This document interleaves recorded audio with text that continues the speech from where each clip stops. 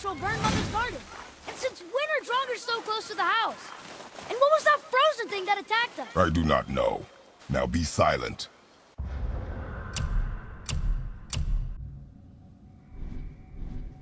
We are almost home.